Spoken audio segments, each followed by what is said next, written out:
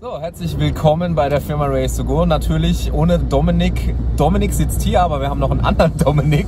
Dominik Reichert macht bei uns die Videografie äh, und die ganzen Videos und so weiter. Und Dominik Sales sitzt neben mir. Wir haben ein Auto nach Dubai verkauft. Und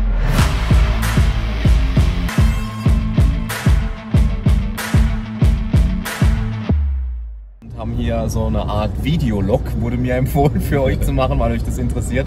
Ähm, das Auto durchläuft jetzt verschiedene Leistungsstufen bei uns. Also ja, ihr habt richtig gehört, ein Auto wird von Deutschland nach Dubai exportiert.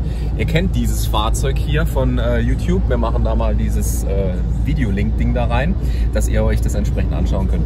Und ja, von daher bleibt auf jeden Fall nicht nur dran, sondern das läuft ja alles jetzt hier in diesem Video ab. Wünsche euch viel Spaß beim Zuschauen und ja, so verrückte Sachen machen wir. Ich persönlich komme aus dem Projektmanagement, von daher äh, habe ich heute Morgen der Mannschaft gesagt, es lohnt sich noch nicht mal MS Project aufzumachen und da einen Projektplan draus zu bauen, äh, weil es sind zu wenige Punkte. Aber es ist doch einiges jetzt zu machen, bis so ein Auto dann in Bremerhaven ist, auf dem Schiff ist, nach Dubai kommt, Zollabwicklung und so weiter und so fort und vor allem dortige Registrierung bis vor die Haustüre. Also das machen wir nicht nur in Deutschland, sondern auch in alle europäischen Ausländer oder wie jetzt in dem Fall sogar bis nach Dubai für so einen schönen Rover. Schaut mal. Bis gleich.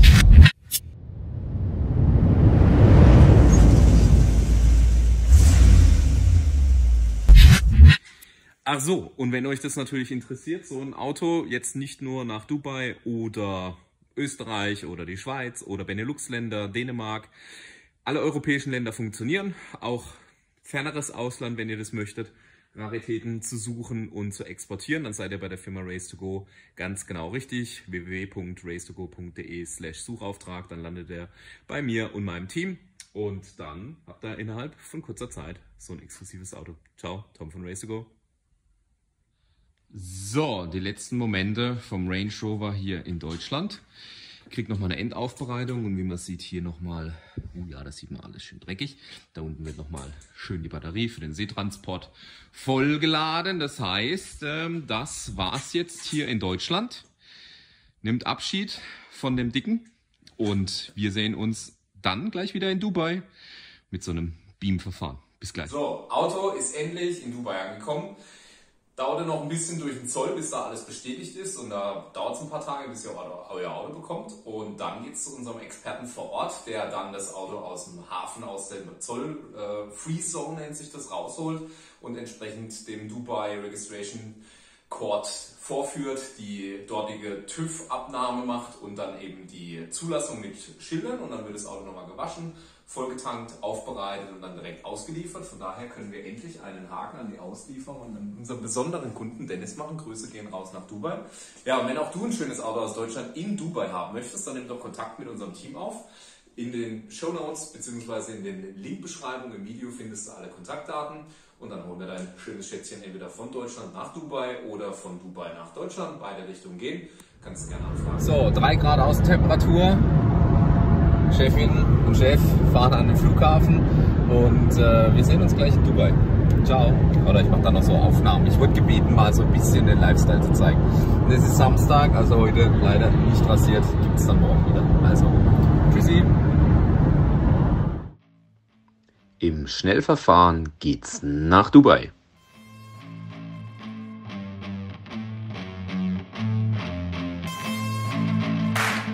Angekommen in Dubai geht's erstmal mit den Koffern ins schöne Hotel.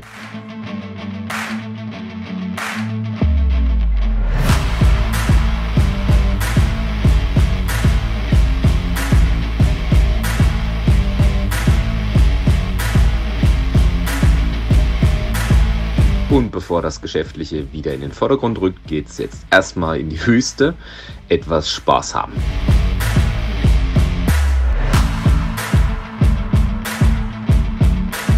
Und natürlich darf etwas Sightseeing in dieser fantastischen Stadt nicht fehlen.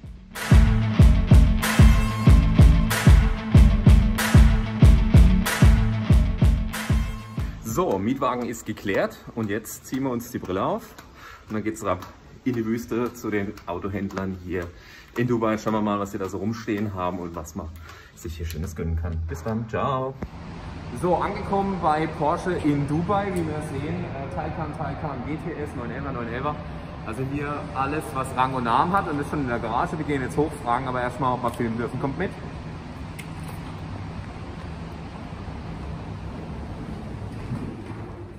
So, der Mythos, dass die Fahrzeuge hier nicht servicegepflegt sind, ist völliger Nonsens. Wir haben uns gerade im Workshop hier angeguckt und mit den Mitarbeitern hier gesprochen. Natürlich werden die Porsche hier auch in Dubai gepflegt.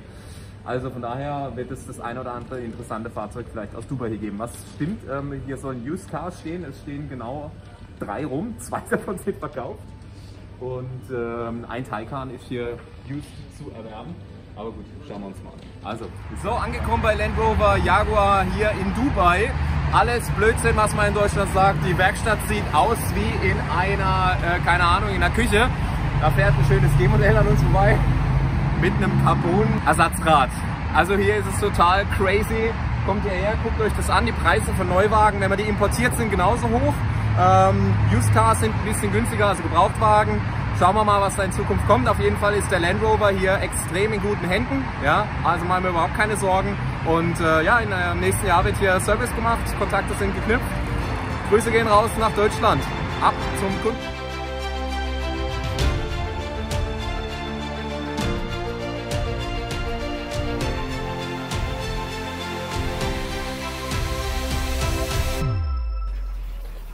Hallo, ich möchte heute mal kurz darauf eingehen, wie und wo ich eigentlich mein Auto gekauft habe, bevor wir nach Dubai gezogen sind. Ähm, und zwar habe ich was ganz Verrücktes gemacht eigentlich. Ähm, ich habe ein Auto gekauft und liefern lassen, was ich noch gar nicht wirklich gesehen habe. Ähm, warum habe ich das gemacht? Ich muss zugeben, es gibt einen kleinen Vorteil. Mein Bruder arbeitet in der Firma, bei der ich das Auto gekauft habe. Trotzdem hätte ich es nicht gemacht, wenn ich nicht das Gefühl gehabt hätte, dass ich gut aufgehoben bin, dass ich den Personen, unabhängig von meinem Bruder, aber auch die dahinter stehen, 100% vertrauen kann.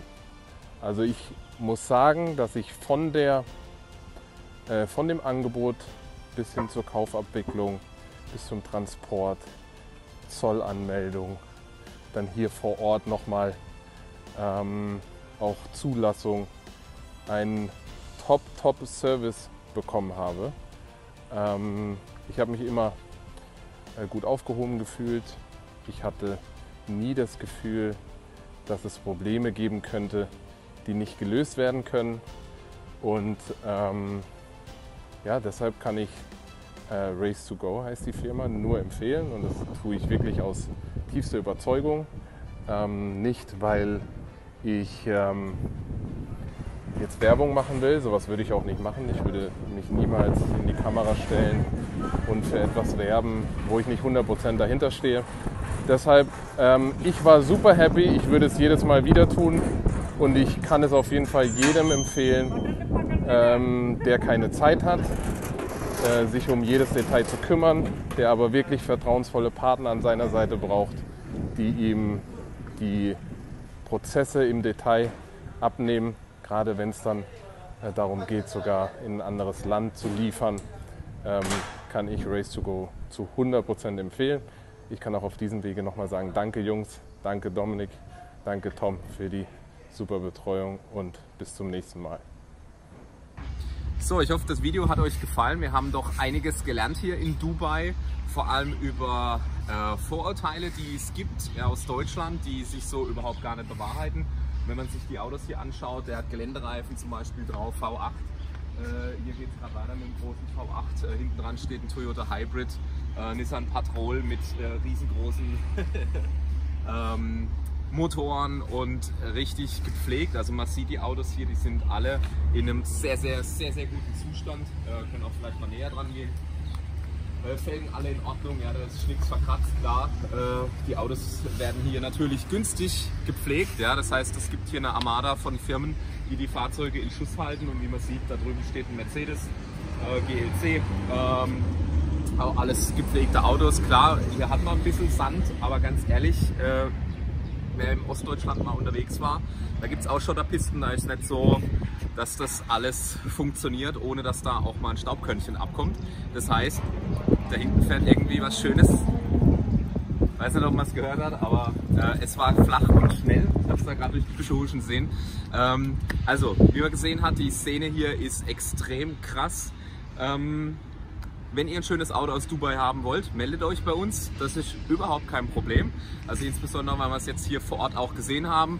Das ist der gleiche Markt wie bei uns auch. Wenn du halt auf mobile.de oder Autoscout gehst, Seite 1 das entsprechend eingibst, was du haben möchtest und dann kommt halt der billigste 911er in ganz Deutschland oder ganz Europa, dann kannst du davon ausgehen, dass der nicht Checkev gepflegt ist, dass der verunfallt ist, dass der im Allgemeinzustand einfach auf gut Deutsch Kacke ist. Ja? Also ihr wisst, was ich meine. Und so ist es in Dubai auch. Wenn du natürlich hier den billigsten Porsche findest, dann ist der natürlich verunfallt, äh, beziehungsweise wenn du Glück hast, ist es ein Schnäppchen. Aber geh mal eher davon aus, dass es nicht der Fall ist, weil hier auch Angebot und Nachfrage den Markt regiert. Was sehr interessant ist, dass die örtlichen Dealer, also die ähm, Hersteller selber sehr, sehr wenig Gebrauchtwagen haben. Hat einfach mit dem Markt hier zu tun, wenn du hier ähm, Geld hast, willst du einfach ähm, ein sogenanntes Full-Option-Auto, das heißt du nimmst dir so einen Mercedes und haust einfach voll drauf, was entsprechend die Ausstattungsliste hergibt. Also da wird nicht unterschieden zwischen, ja, der hat das Assistenzsystem und äh, jene Option, sondern AMG und volles Rohr ähm, und alles ist dabei. Und so macht es natürlich auch Sinn, dass man die Autos hier aus Dubai äh, zurück nach Europa holt. Ansonsten haben wir sehr viel gelernt, viele Kontakte hier geknüpft. Äh, war eine sehr, sehr spannende Reise. Ich hoffe, das Video hat euch gefallen, mal ein bisschen anders. Auch mit ein bisschen anderen Setup hier. Bisschen Urlaub äh, haben wir jetzt noch hinten dran gehängt. Mir war ganz wichtig, dass ihr einen Eindruck bekommt. Und vor allem ganz wichtig, nehmt mit, nicht nur hören sagen, sondern selber erfahren im wahrsten Sinne des Wortes. Grüße gehen raus nach Deutschland. Ciao, Tom von Racing.